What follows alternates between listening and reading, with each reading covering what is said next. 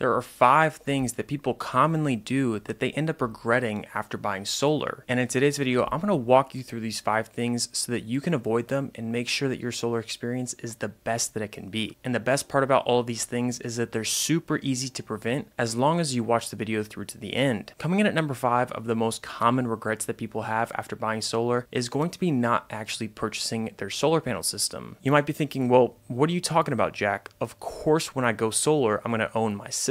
However, unfortunately, in a lot of cases, that is simply not the case. The reality is, in 2024, we are seeing more companies than ever before selling third party ownership systems, oftentimes called power purchase agreements. A fancy way of saying lease, a power purchase agreement essentially puts you into a rental agreement with your solar system. You sign a leasing contract with the solar company, they install the system on your roof, and you make them a monthly rent payment every single month, which will escalate by about 3% every single year. Now, due to high interest rates in 2024, lease leases are being offered more than ever. And the reason being is that they're going to give homeowners the lowest initial monthly payment above other options such as financing or purchasing. However, there are a couple things homeowners need to watch out for when leasing a solar system. The first thing to know is that if you lease your solar system, you will not be eligible for any federal or state tax credits, such as the 30% solar federal tax credit, because, well, you don't own the system. Secondly, while there is typically a low initial monthly payment, that payment is escalating at a rate of 3% on average year over year for the entire term of 20 or 25 years. Therefore, towards the end of your term, you will likely be looking at a payment that is over double of what it was in year one. And lastly, and probably most importantly, and what makes a lot of people regret moving forward with these systems, is that they can lead to a number of issues when selling your house.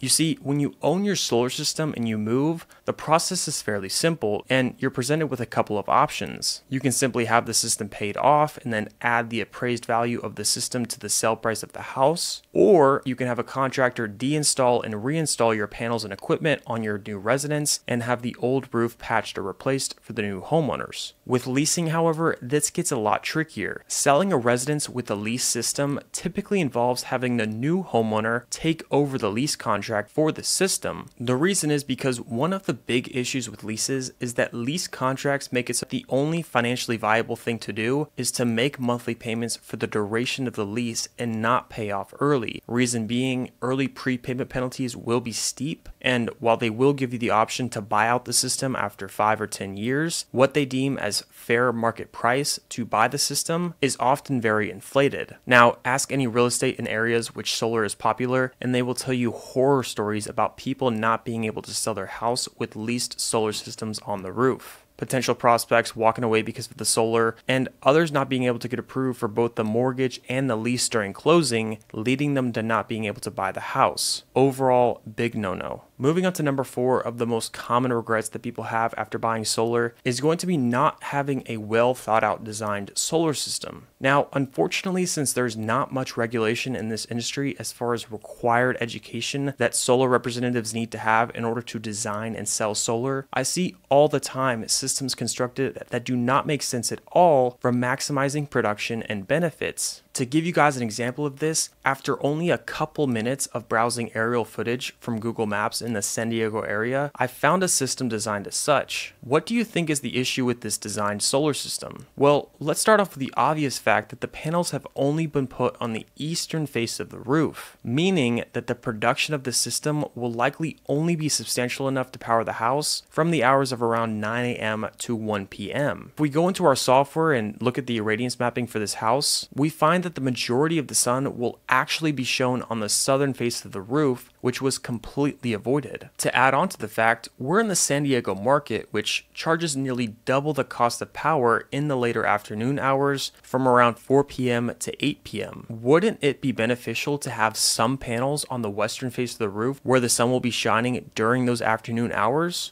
I guess they did not think so. This is only one example of many badly designed systems, either due to uneducated solar representatives or even companies that are lazy, don't care about their customers, and want to sell a system that can be quickly installed with just one large array on the biggest roof face. Choosing to avoid installing panels on the front of your house is understandable, but in most cases, if you want a design that is going to maximize production from the panels and maximize your daily independence from the grid, that is going to mean multiple separate arrays on different areas of the roof, with putting the majority of the panels on the south face, followed by the west and east face, just taking into account the daily utility rates when determining panel placement. Now, on that conversation of designing properly and moving on to number three of the most common regrets that people have after buying solar is going to be not picking the right amount of panels to buy for their system. The process of working with a solar designer typically involves giving him or her a copy of your annual kilowatt hour usage and then having them use a software to determine how many panels you might need for your house to offset your electric bill. Where this can go wrong is not taking into account future higher or lower usage, something such as adding an electric vehicle, which you're going to charge at the house, having plans to re insulate your house, or potentially having three kids move out of the house to go off to college, these things can have a massive impact on your future usage. While in most cases, if you overproduce electricity, you can sell that power back to the utility company for credit, you're still paying for more panels that you ultimately do not need. Now, if you want to undersize your system slightly and add panels in the future, that can work. However, you will get the best pricing on your overall system on a price per panel panel basis. If you can just do it all in one project to avoid having to do two separate projects, which permits have to be pulled, engineered plans designed, and crews called out to the house. Make sure to communicate your current and future energy habits with your solar consultant and make sure that you're playing things smart. Now, one thing that I have seen people make a mistake with is moving forward with a quote that has been designed on a cheap solar design software. A little secret that I'll tell you guys is that unfortunately, there are many cheap solar design softwares out there which